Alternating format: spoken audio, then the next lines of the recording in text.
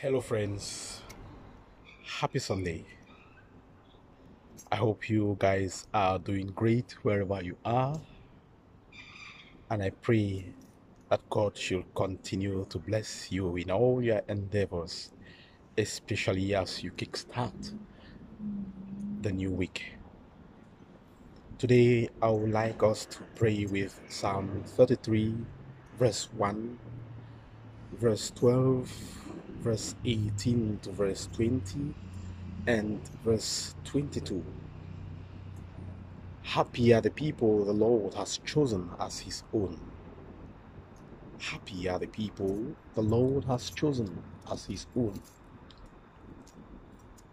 Happy